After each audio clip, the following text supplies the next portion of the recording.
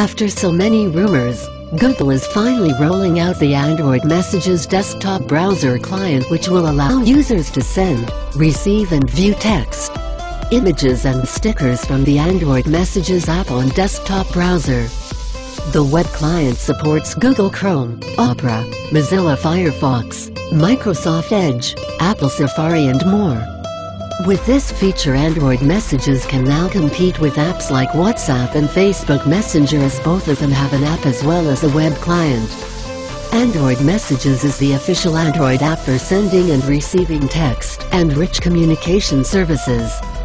According to a recent blog post by Google, there are a number of other advancements being made into the Android Messages app, which includes GIF search, smart replies, link previews, and easy copy slash paste for two-factor authentication messages. The update started rolling out on Monday and will be available for everyone by the end of the week. If you want to use this new feature of Android messages on your desktop browser, here's a quick guide for you. Prerequisite Install the latest version of Android Messages app from Google Play Store. Google Chrome, Mozilla Firefox, Opera or Apple Safari must be installed on your PC. Steps to follow.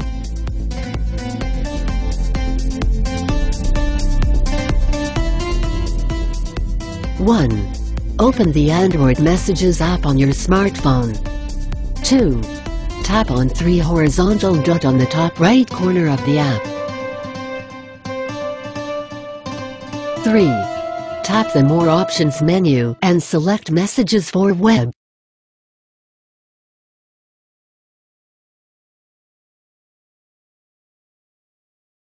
Four. Now open the messages.android.com on any of the browser on your PC. 5. Now scan the QR code with your phone just like the WhatsApp web feature. 6. Wait for the page to load and then you can use Read, Send and View the messages.